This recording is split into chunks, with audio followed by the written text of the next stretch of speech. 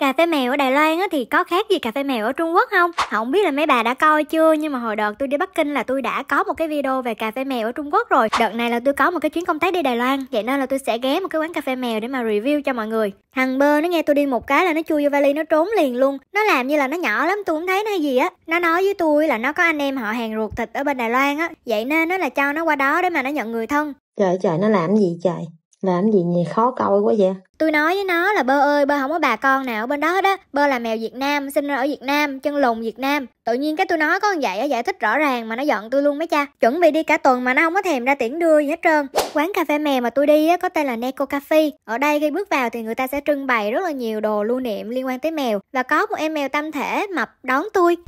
Nè cậu ơi, mình mập thì cũng kệ mẹ mình mình mập là do trời ban phước lành Chứ mình đâu có ăn hết của nhà cậu đâu mà cậu vô cậu chê mình mập hả Trước khi mà được đi lên chơi với mèo thì tụi tôi sẽ được bạn nhân viên ở đây phổ biến quy định. Có rất là nhiều quy định nha. Ví dụ như là mọi người sẽ không được ẩm mèo khi mà nó đang ngủ nè, không được đánh thức mèo dậy nè. Và nếu như mèo tụi nó có oánh nhau thì cũng để cho tụi nó oánh nhau, không có được can thiệp luôn. Lúc mà tụi tôi đến quán thì tầm 6 giờ tối, theo như chủ quán nói thì đây là giờ ngủ của tụi nó, vậy nên là tụi nó toàn ngủ thôi à. Quán cà phê này thì có tổng cộng là 8 em mèo để phục vụ khách, chủ yếu đa số là mèo truyền thống.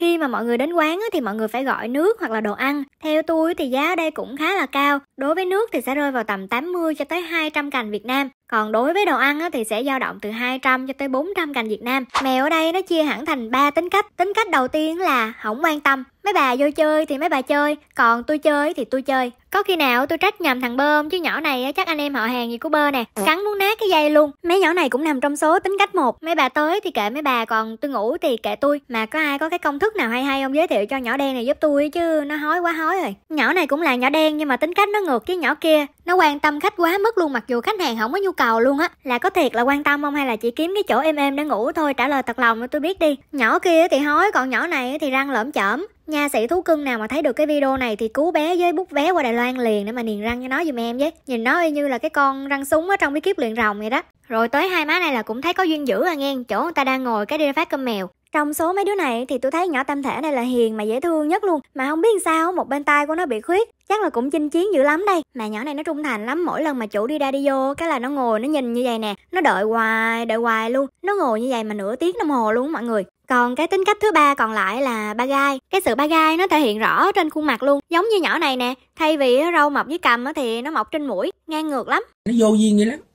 Nó xấu mà nó còn vô duyên nữa đó người ta xấu người ta còn dễ thương ha. Người ta xấu người ta có cái duyên. Còn này nó xấu mà nó vô duyên luôn mà nó già nữa. Trời đất ơi. Trong một tập thể thì dễ gì chỉ có một đứa ba gai. Vậy nên nó là còn một cái đứa khác nữa. Cái đoạn này là cái bé nhân viên đang cho mấy đứa mèo ăn. Thì bạn sẽ chia ra rất nhiều khu vực để cho mèo ăn không có bị chung đụng với nhau. Thì mình vui vẻ hòa thuận sống chung một nhà thì mình ăn chung đi.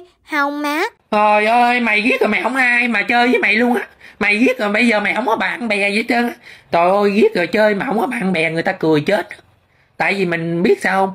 Mình sao người ta mới không chơi với mình? Nết của nhỏ vàng này nó cũng không thua gì nhỏ trắng nãy luôn á. Nhỏ trắng nãy cũng y chang luôn, Nó cũng đâu cho ai ăn chung đâu. Quá trời đứa đứng chờ xếp hàng luôn mà nó không cho. Trong khi đó bạn bè người ta ăn á, Người ta nhường nhịn nhau nè. Đứa này ăn xong thì tới đứa kia ăn. Mỗi đứa nhường nhịn nhau một chút tình thương mến thương. Ví dụ như mà mình đang ăn á, Có bạn tới xin ăn chung á Thì mời bạn vô ăn chung. Có đâu mà hằng học quýnh nhau. Thấy mấy nhỏ góc này lịch sự dễ thương chưa? Nhỏ trắng này là nhỏ nãy bị dằn quýnh nè. Bởi vậy nó hiểu lắm nó bao bọc chở che mấy con khác liền. Còn này là ba gai một gặp ba gai hai, hai đứa ba gai gặp nhau ba gai double. Không má nào chịu thua má nào hết á. Lúc tôi chuẩn bị về thì chỉ có một nhỏ duy nhất nó ra nó tiễn tôi thôi. Bởi vậy đừng có mà đánh giá mèo qua vẻ bề ngoài. Nó xấu cái mặt chứ nó tốt cái bụng. Hồi nãy lúc vô lễ tân nhỏ khác, bây giờ thay ca là nhỏ khác, nhỏ này còn mập hơn nhỏ nãy nữa. Qua vô mập Mập dữ nè Trời ơi Trời ơi Trước khi về thì tôi có mua một vài cái sticker dễ thương của cái cà phê này. Vậy là xong chuyến review cà phê mèo ở Đài Loan của tôi. Bây giờ thì tôi đi về đây.